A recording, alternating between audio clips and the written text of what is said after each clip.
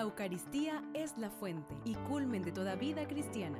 Es signo de unidad, vínculo de caridad y banquete pascual en el que se recibe a Cristo.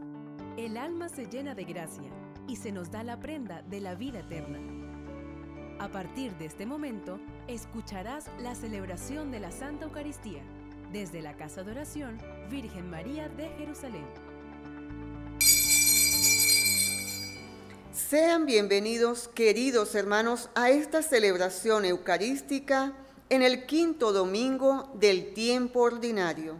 Como en aquel tiempo se aglomeraba la gente en torno a Jesús para encontrar en él la sanación de sus heridas, también nosotros hoy nos congregamos en torno al altar donde nos encontraremos con Jesús vivo que quiere alimentarnos y darnos una nueva vida hambrientos y sedientos de Dios, comencemos esta Santa Misa. Recibamos al Padre Joan Guerrero, quien preside esta Santa Eucaristía.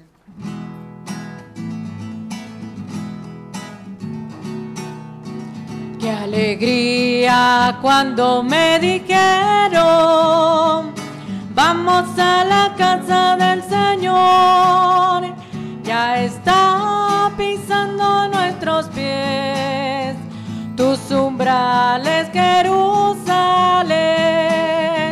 Qué alegría cuando me dijeron, vamos a la casa del Señor, ya está pisando nuestros pies, tus umbrales, Jerusalén.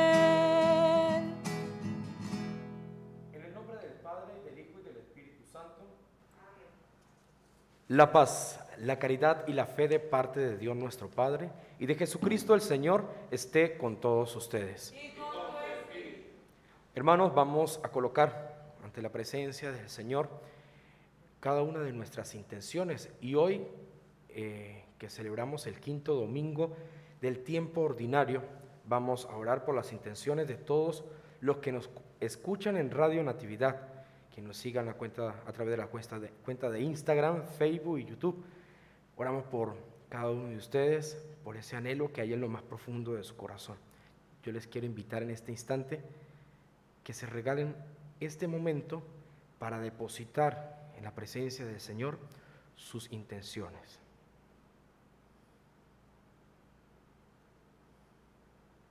Oramos también al Señor en acción de gracias por el cumpleaños de Maribel Lourdes Chacón de Guerrero y Carmen Beatriz Alviares Vivas, por el eterno descanso del el padre Stephen Harney, Gladys Burgos, Argimiro Delgado Chacón, María Esperanza Gómez, Carmen Herrera, viuda de Peñuela, Humberto Quilelli, Jesús Ramírez, Juana Gil, María Tránsito Mantilla, viuda de Guerrero, hoy en su primer día de novenario.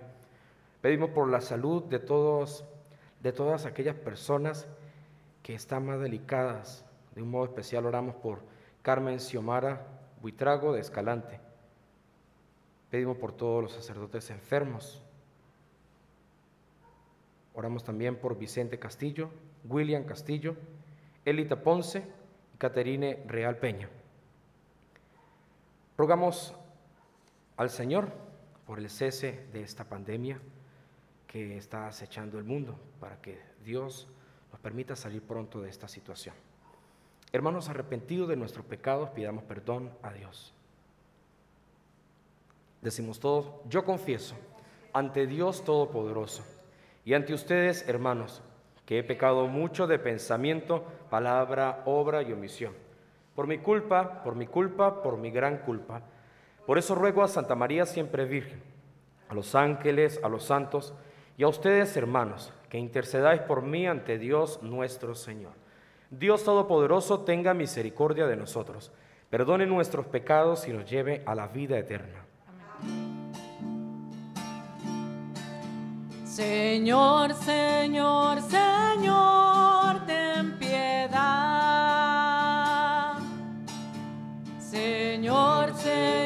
Señor,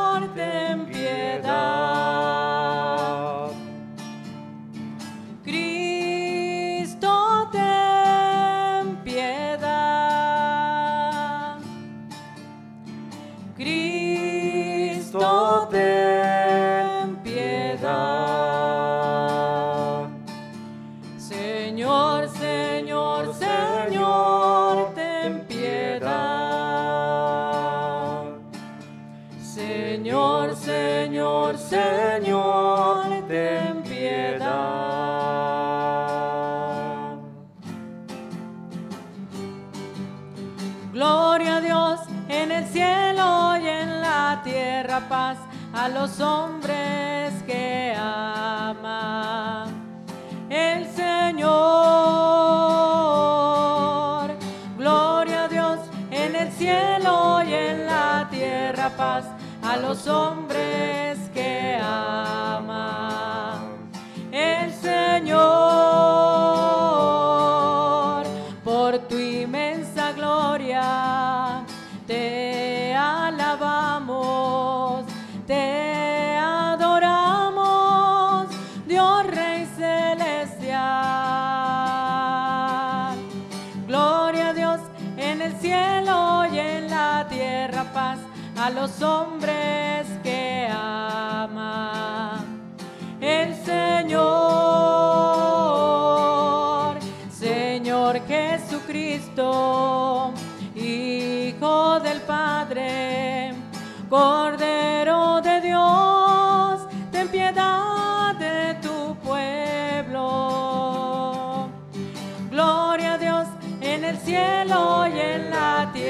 a los hombres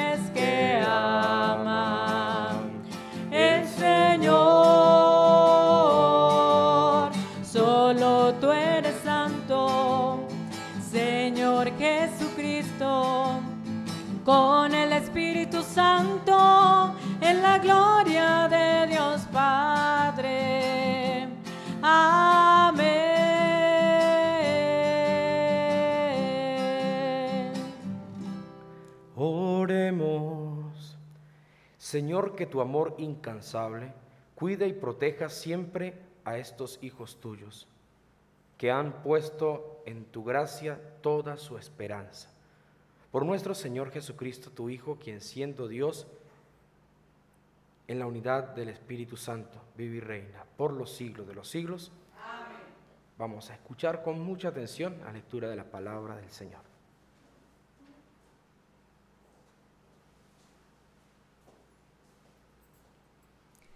En la primera lectura nos encontramos con Job, que atraviesa tiempos de desgracia y su vida cae en la desesperación. Desde un contexto similar, en el pasaje evangélico, Jesús trae vida nueva, salud integral al ser humano. Pablo, en el texto de la carta a los Corintios, manifiesta la profunda necesidad que siente de transmitir el Evangelio. Escuchemos atentos estos mensajes de salvación.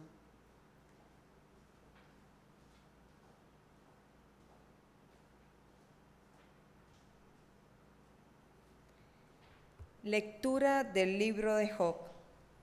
En aquel día Job tomó la palabra y dijo, La vida del hombre en la tierra es vida de soldado, y sus días, como días de un jornalero.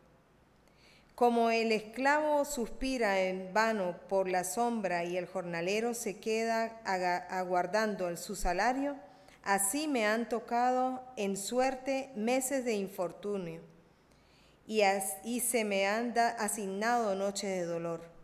Al acostarme pienso, ¿cuándo será el día? La noche se alarga y me canso de dar vueltas hasta que amanece. Mis días corren más a prisa que una lanzadera y se consumen sin esperanza. Recuerda, Señor, que mi vida es un soplo. Mis ojos no volverán a ver la dicha. Palabra de Dios. Alabemos al Señor nuestro Dios. Alabemos al Señor nuestro Dios. Alabemos al Señor nuestro Dios, porque es hermoso y justo el alabarlo. El Señor ha reconstruido a Jerusalén y a los dispersos de Israel los ha reunido. Alabemos al Señor nuestro Dios. El Señor sana los corazones quebrantados y venda las heridas. Tiende su mano a los humildes y humilla hasta el polvo a los malvados. Alabemos al Señor nuestro Dios. Él puede contar el número de estrellas y llama a cada una por su nombre. Grande nuestro Dios, todo lo puede, su sabiduría no tiene límites. Alabemos al Señor nuestro Dios. Alabemos al Señor nuestro Dios.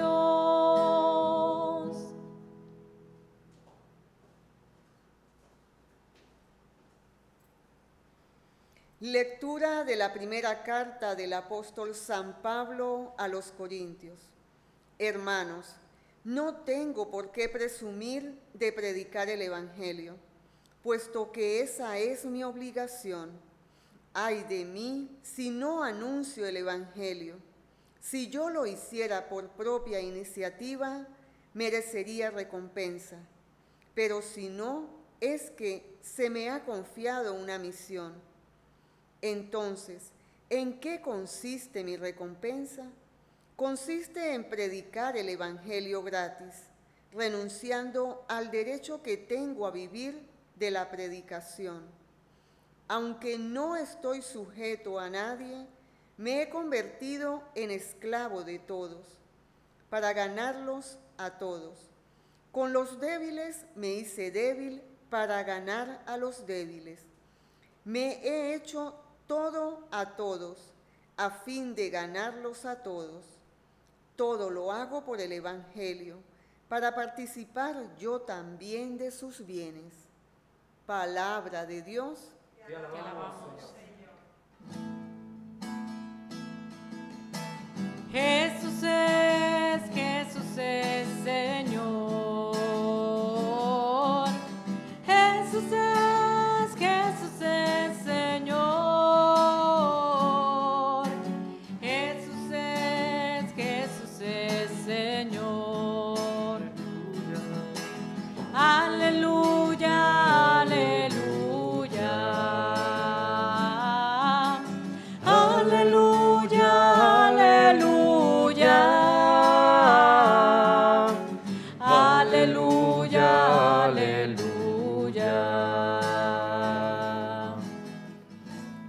Señor esté con ustedes.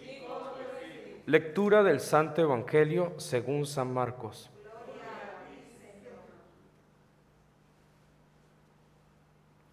En aquel tiempo, al salir Jesús de la sinagoga, fue con Santiago y Juan a casa de Simón y Andrés. La suegra de Simón estaba en cama con fiebre y enseguida le avisaron a Jesús. Él se le acercó y tomándola de la mano, la levantó. En ese momento se le quitó la fiebre y se puso a servirles. Al atardecer, cuando el sol se ponía, le llevaron a todos los enfermos y poseídos del demonio, y todo el pueblo se apiñó junto a la puerta. Curó a muchos enfermos de diversos males y expulsó a muchos demonios, pero no dejó que los demonios hablaran porque sabían quién era él. De madrugada, cuando todavía estaba muy oscuro, Jesús se levantó y salió y se fue a un lugar solitario donde se puso a orar. Simón y sus compañeros lo fueron a buscar y al encontrarlo le dijeron, todos te andan buscando. Él les dijo, vamos a los pueblos cercanos para predicar también allá el Evangelio, pues para eso he venido. Y recorrió toda Galilea, predicando en la sinagoga y expulsando a los demonios. Palabra del Señor. Pueden sentarse, por favor, los que están aquí presentes. Vamos a decir, ven Espíritu Santo, Ven Espíritu Santo, ven poder de Dios, ven poder de Dios. lléname con tu presencia Lléname con tu presencia y haz temblar mi corazón. y haz temblar mi corazón. Paséate por donde quieras, Paséame por donde quieras. Espíritu protector. Espíritu protector, y con tu inmensa fuerza y con tu inmensa fuerza transforma mi corazón. transforma mi corazón. Amén. Amén. En la liturgia del día de hoy se nos encuentra o se encuentran unas categorías que me llaman enormemente la atención. Entre ellas eh, se habla de liberación, bien, sería la primera categoría. Posteriormente, el servicio, luego la tentación y también la oración. Podríamos nosotros hablar de ellas en el orden que querramos, pero quisiera que nos enfocáramos en lo siguiente. Bueno, partiendo de el evangelio que hemos venido meditando durante estos días, domingo pasado también se hablaba de una sanación que el Señor había realizado o había expulsado un demonio de la vida de una persona. Esto nos recuerda también que no solamente la libera de aquel demonio que tenía poseído, que lo tenía poseído, sino que también lo incorpora una vez más en la sociedad, le recobra la dignidad, le regala eh, la oportunidad de seguir viviendo y ser no solamente sentirse en paz, sino también ser valorado, porque quien estaba enfermo era visto así como un pecador. Bien, lo señalaba todo el mundo porque algo hizo o algo hizo su familia. Durante esta semana hemos estado escuchando eh, sanaciones, milagros. Muchos podrían ver a Jesús como un taumaturgo, un, un milagrero. Para nosotros significa más que eso. No es solamente alguien que hace milagros, sino una persona que está dispuesta a llenar de paz, de tranquilidad el corazón del hombre. Entonces, al ver eh, cada una de las liberaciones que el Señor hace, no solamente una liberación tiene que ver con expulsar un demonio. Cuando nosotros eh, salimos de una enfermedad, bueno, hemos sido liberados de esa enfermedad. Es el caso de la suegra de Pedro. Dice por allí que padecía una fiebre y el Señor después de llegar de la faena del día, llega a ese lugar y sana a la suegra de Pedro de esa fiebre por la que estaba padeciendo. Dicen por ahí algunos teólogos que ese es, eso es lo que, esa es el, la, la, curación que Pedro no le va a perdonar a Jesús, haberle curado a la suegra. No, mentiras, Pedro era bastante generoso, quería a su suegra, tanto que se fue y comenzó a servir al Señor. mentiras, las que son suegras no se sientan aludidas. Bien, entonces era un chiste malo. La, música me hizo así como que... Mm, mm". Bien, es que debe ser que es suegra. Entonces, continuamos. Cuando el Señor libera a aquella mujer de ese pecado quizás o de esa esclavitud, de la enfermedad que estaba padeciendo, aquella mujer dice la palabra que se levantó y comenzó a servirles. Recordamos nosotros que en la cultura de ese momento, la cultura judía, no es que a la mujer la tomara muy en cuenta. O sea, el testimonio de ella me curó Jesús y el resto, ay, qué? Su palabra no vale. Era mujer, bien, aparte estaba enferma. Y entonces, ¿qué podía tener peso? El testimonio de ella. Sin embargo, el Señor actuó en su vida. Le demostró que no solamente necesitan aquellos que son aplaudidos, los que se consideran más importantes socialmente, sino que sencillamente Él ha venido por todo aquel que realmente necesita de su amor, necesita de su misericordia, necesita de su liberación y de su sanación. Luego Jesús se encuentra con una tentación grave, una tentación de fama, cuando se apartó a orar, los discípulos se fueron después a buscarlo y se encuentra con que Pedro le dice, ay, te encontramos, han venido a buscarte, hay un gentío quizás allá que te está buscando. O sea, Jesús se volvió famoso en el lugar, estaba realizando milagros y por tanto eh, la gente quería buscarlo, tocarlo, verlo y a él no le importó. Fíjense, a mí me llama enormemente la atención ese detallito, no sé si ustedes lo habían notado. Dice, todos te andan buscando. Y Jesús les dijo, vamos a los pueblos cercanos para predicar allá el Evangelio. No le preguntó ni quién me está buscando, para qué me están buscando. ¿Cuántos son? No, no importaba. Pues para eso hemos venido, para predicar el Evangelio. Entonces el plan de Jesús era tirar la semilla. Por eso le decía liberación, servicio, posteriormente tentación. ¿Y qué era lo único que acompañaba a Jesús, hermanos? En su misión, la oración. Lo único que le importaba a él era agradar al Padre. Caso tal, el día que fueron a apresarlo para crucificarlo, Jesús estaba en aquel lugar orando y le decía al Padre, Padre, si es posible, aparta de mí este cáliz, pero que no se haga mi voluntad sino la tuya. Jesús solamente vino a este mundo a cumplir la voluntad del Padre. San Pablo nos lo recuerda. Es decir, que San Pablo, cuando escuchábamos en la segunda lectura eh, la voz de San Pablo diciendo, ay de mí si no evangelizo. la responsabilidad nuestra como cristianos no es la de convertirnos en los más importantes, no es convertirnos nosotros en que tengamos miles de seguidores porque predico el Evangelio. No es para regodearnos, decimos por allí coloquialmente, no es para presumir de que nosotros somos evangelizadores. Como yo soy sacerdote, entonces tengo privilegio de... No, nada de eso. Hemos venido sencillamente a hacer eco del mensaje de Jesucristo. Y cuando nosotros nos convencemos de esa realidad, somos personas libres. Bien, cuando dejamos meter a Jesús en nuestro corazón y en nuestra única prioridad, ahí volvemos al principio. Por eso le dije que era una cuestión como eh, ni siquiera en un orden. Nos sentimos liberados en el momento en el que asumimos nuestra responsabilidad como cristianos. ¿Y cuál es la responsabilidad? Pues lo mismo que Jesús le dijo a los discípulos cuando se iba hacia el cielo. Vayan por todo el mundo y prediquen el Evangelio bautizando en el nombre del Padre, del Hijo, del Espíritu Santo. Hagan discípulos a todos los pueblos. Ese fue el mandato misionero. Es decir, que cuando nosotros asumimos la responsabilidad de ser evangelizadores del Señor, nos estamos sintiendo o estamos experimentando esa liberación. Estamos encarnando al mismo Jesús, que lo único que le importaba es dar a conocer la alegría, de, la alegría del Evangelio, la alegría de que nosotros conociéramos a ese Dios que nos ama enormemente. ¿Qué era lo único que hacía Jesús?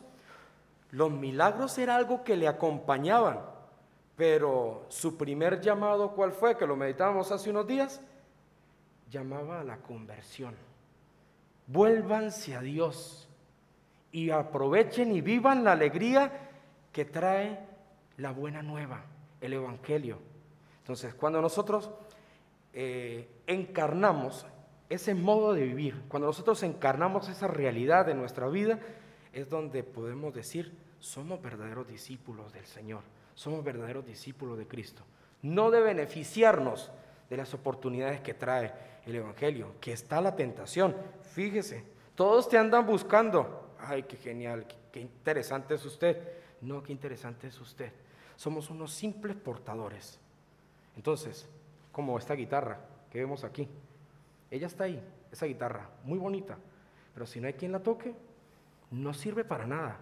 Lo mismo sucede con nosotros. Si no dejamos que nuestra vida se ponga en la acción del Espíritu Santo, no servimos para nada. Si no dejamos que nuestra vida encarne la presencia de Cristo, pues no servimos para nada o servimos para muy poco. Ahora, en el transcurso del tiempo que nosotros llevamos en el servicio del Señor, yo creo que es el momento de preguntarnos, ¿a quién le estoy dejando yo la responsabilidad de ser misionero del Señor? ¿Qué hace usted? ¿Dónde va?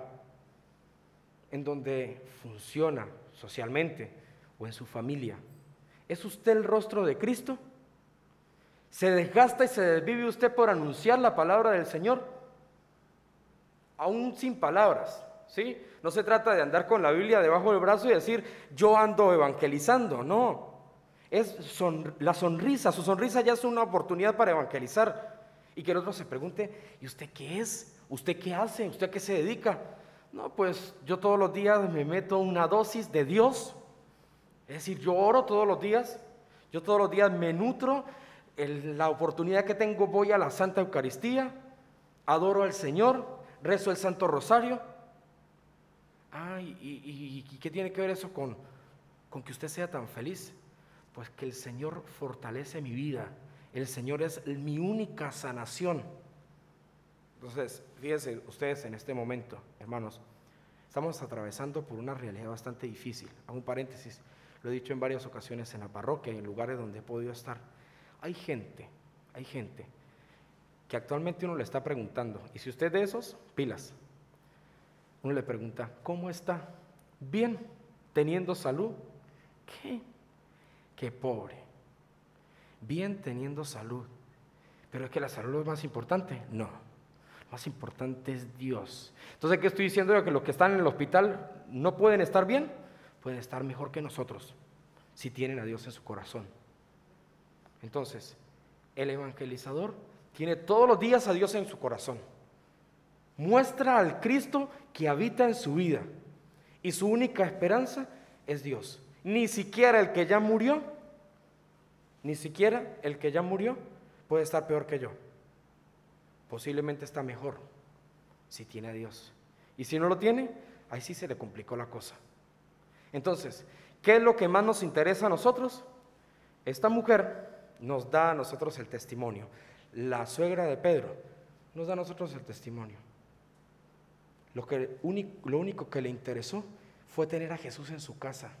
No, ay, qué fino, estoy ya llena de salud, llena de vida, voy a salir, voy a correr y a contarle a la vecina. No, de inmediato se levanta y comenzó a servirle. ¿Por qué?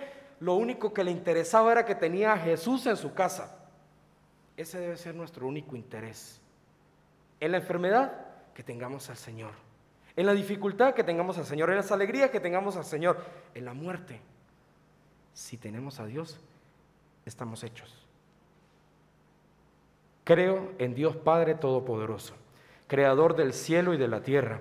Creo en Jesucristo, su único Hijo, nuestro Señor, que fue concebido por obra y gracia del Espíritu Santo. Nació de Santa María Virgen, padeció bajo el poder de Poncio Pilato fue crucificado, muerto y sepultado. Descendió a los infiernos. Al tercer día resucitó de entre los muertos.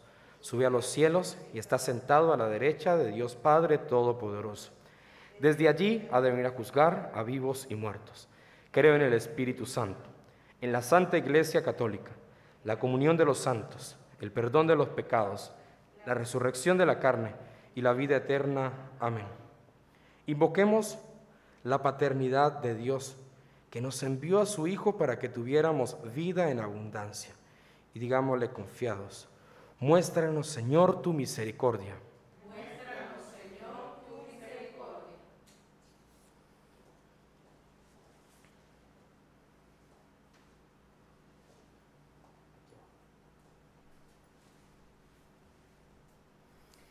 Haz de todos nosotros nuestros pastores de la iglesia y líderes religiosos auténticos apóstoles, para que su entrega sea todo por el Evangelio, haciéndose todo a todos como Pablo.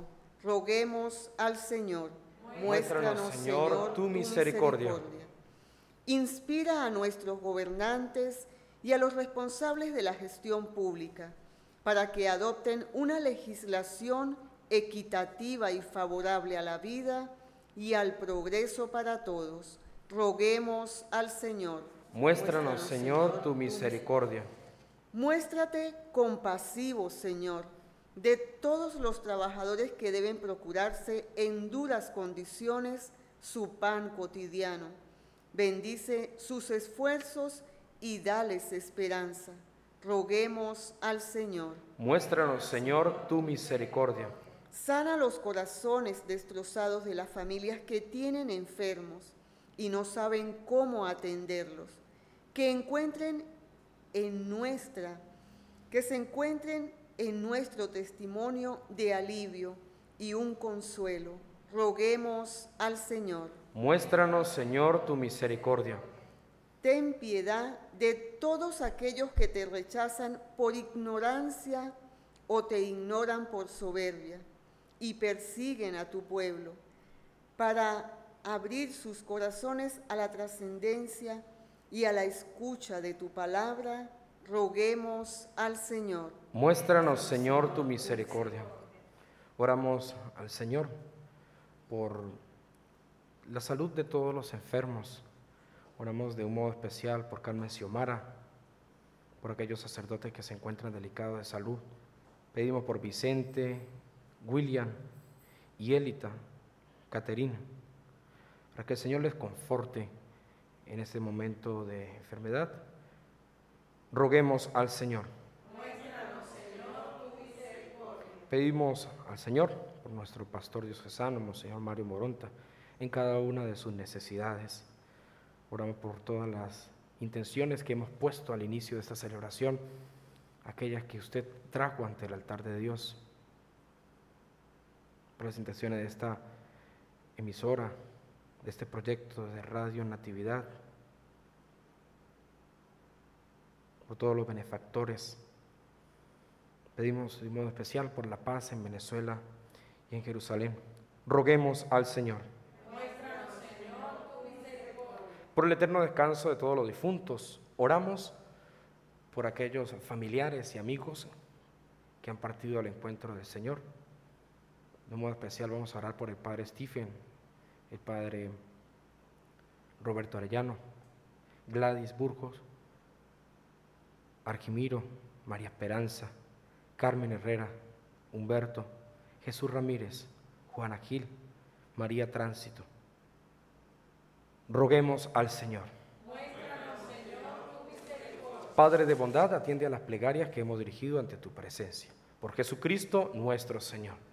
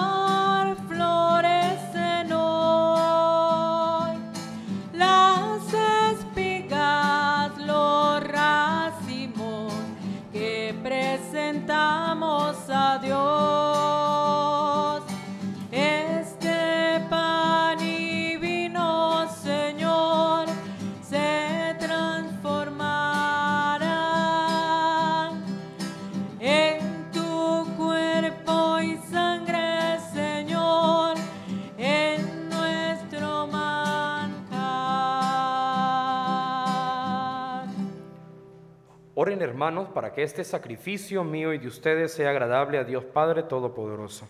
El Señor reciba de tus manos este sacrificio para alabanza y gloria de su nombre, para nuestro bien y el de toda su santa iglesia. Señor Dios nuestro, tú que nos has dado este pan y este vino para reparar nuestras fuerzas, conviértelos para nosotros en sacramento de vida eterna. Por Jesucristo nuestro Señor. Amén. El Señor esté con ustedes. Y con tu espíritu Levantemos el corazón. lo tenemos levantado hacia el Señor. Demos gracias al Señor nuestro Dios. Es justo y necesario. En verdad es justo y necesario en nuestro deber y salvación darte gracias siempre y en todo lugar, Señor Padre Santo, Dios Todopoderoso y Eterno. Pues quisiste reunir de nuevo, por la sangre de tu Hijo y la acción del Espíritu Santo, a los hijos dispersos por el pecado, y de este modo tu iglesia, unificada imagen de la unidad trinitaria, aparece ante el mundo como cuerpo de Cristo y templo del Espíritu, para alabanza de tu sabiduría infinita. Por eso, unidos a los coros angélicos, te aclamamos llenos de alegría.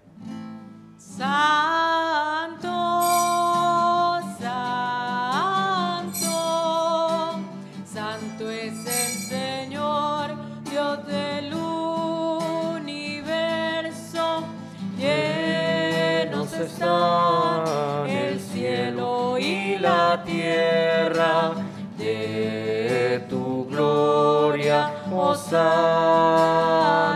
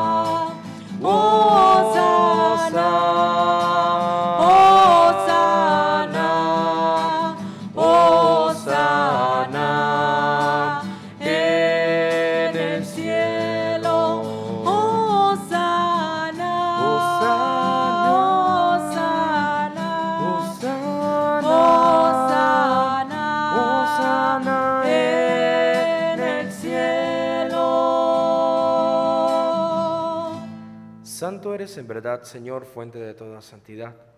Por eso te pedimos que santifiques estos dones con la efusión de tu Espíritu, de manera que sean para nosotros cuerpo y sangre de Jesucristo nuestro Señor, el cual, cuando iba a ser entregado a su pasión voluntariamente aceptada, tomó pan.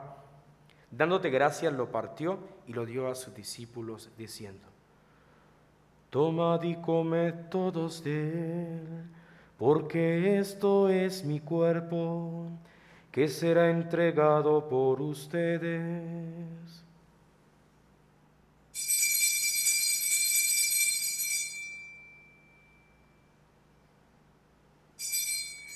Del mismo modo, acabada la cena, tomó el cáliz. Dándote gracias de nuevo, lo pasó a sus discípulos, diciendo, Tomad y bebed todos de él, porque este es el cáliz de mi sangre, sangre de la alianza nueva y eterna, que será derramada por ustedes y por muchos para el perdón de los pecados Hagan esto en conmemoración mía.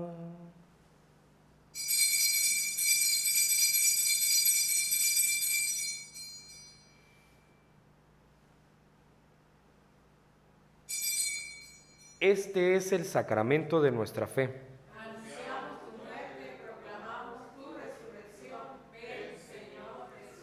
Así pues, Padre, al celebrar ahora el memorial de la muerte y resurrección de tu Hijo, te ofrecemos el pan de vida y el cáliz de salvación. Y te damos gracias porque nos haces dignos de servirte en tu presencia. Te pedimos humildemente que el Espíritu Santo congregue en la unidad a cuantos participamos del cuerpo y sangre de Cristo.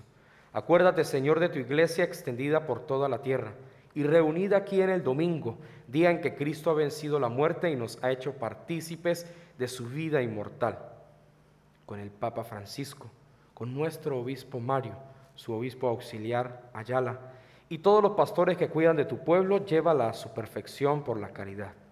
Acuérdate también de nuestros hermanos que se durmieron en la esperanza de la resurrección, aquellos a quienes hemos encomendado en esta Eucaristía, y de todos los que han muerto en tu misericordia, admítelos a contemplar la luz de tu rostro.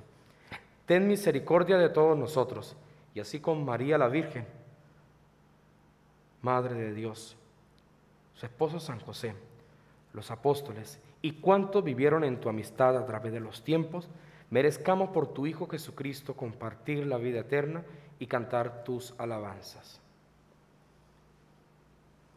Por Cristo, con Él y en Él. A ti Dios Padre Omnipotente, en la unidad del Espíritu Santo, todo honor y toda gloria por los siglos de los siglos.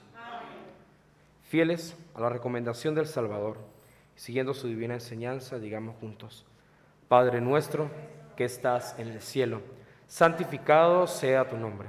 Venga a nosotros tu reino. Hágase tu voluntad en la tierra como en el cielo. Danos hoy nuestro pan de cada día. Perdona nuestras ofensas, como también nosotros perdonamos a los que nos ofenden. No nos dejes caer en tentación y líbranos del mal. Líbranos de todos los males, Señor, y concédenos la paz en nuestros días, para que, ayudado por tu misericordia, vivamos siempre libre de pecado y protegido de toda perturbación, mientras esperamos la gloriosa venida de nuestro Salvador Jesucristo. Señor Jesucristo, que dijiste a tus apóstoles, la paz les dejo, mi paz les doy. No tengas en cuenta nuestros pecados, sino la fe de tu iglesia. Conforme a tu palabra, concede la paz y la unidad tú que vives y reinas por los siglos de los siglos. Hermanos, vamos a prepararnos para la comunión cantando todos el Cordero de Dios.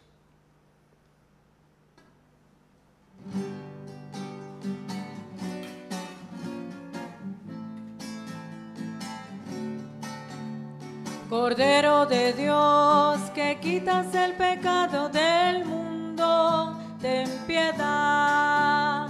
Cordero de Dios, que quitas el pecado del mundo, ten piedad.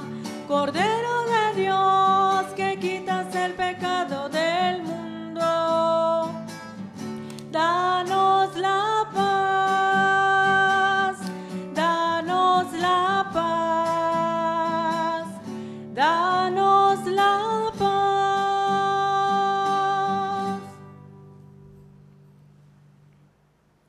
Hermanos, este es el Cordero de Dios. Él quita el pecado del mundo. Dichosos los invitados a la cena del Señor. Señor, no soy digno de que entres en mi casa, pero una palabra tuya bastará para sanar.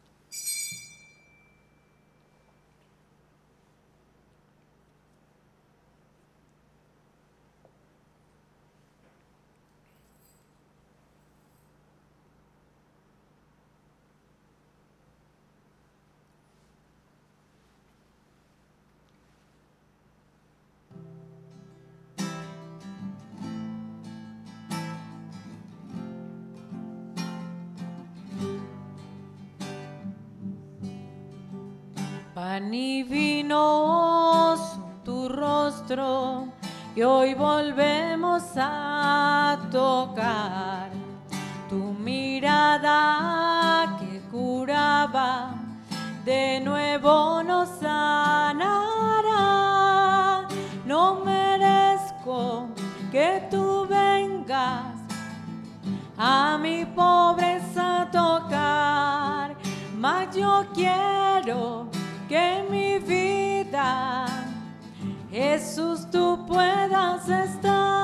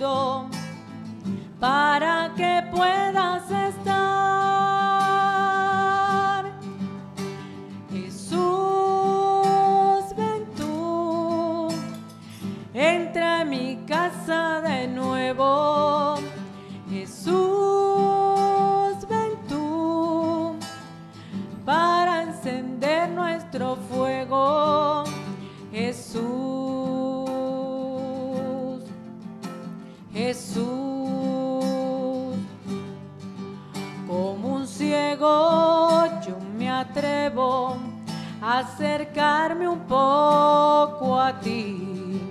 Tú conoces mis presiones, las veces que me perdí, mas tú sabes que te quiero y que si vienes Jesús, todo es fiesta, todo es vida, porque me has salvado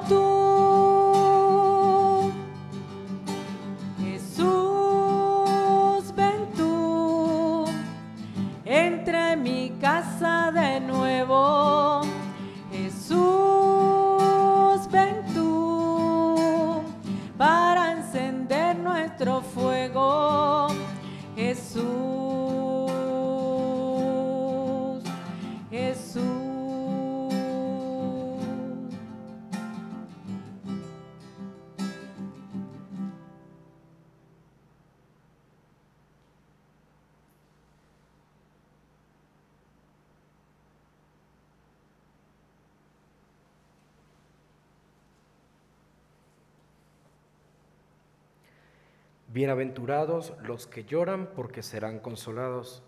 Bienaventurados los que tienen hambre y sed de justicia porque serán saciados. Oremos.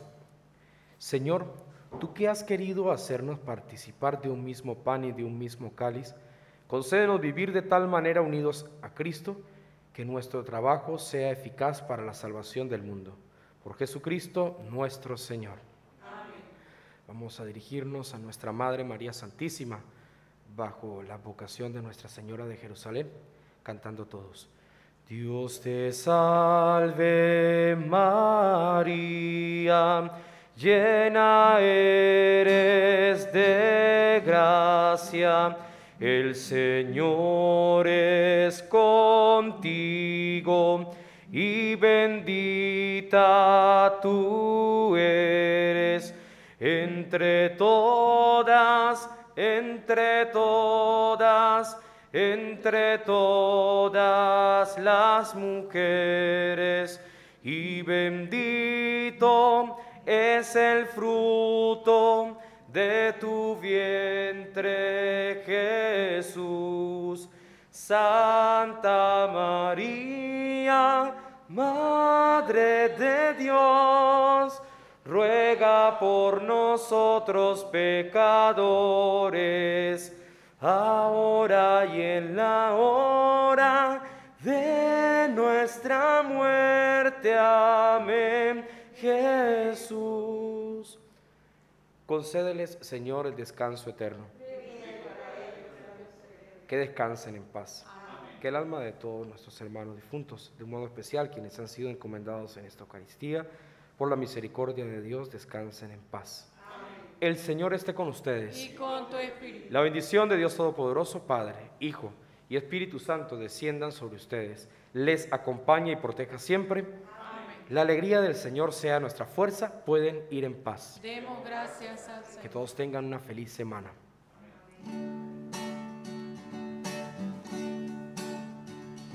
Esposo fiel de María, glorioso San José, Padre protector de la iglesia, ruega por nosotros, amén.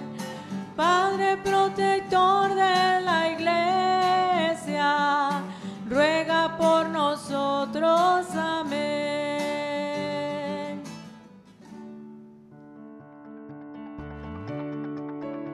Gracias Señor, porque quisiste celebrar tu entrega en torno a una mesa con tus amigos, para que fuesen una comunidad de amor. Radio Natividad transmitió la celebración de la Santa Eucaristía desde la Casa de Oración Virgen María de Jerusalén.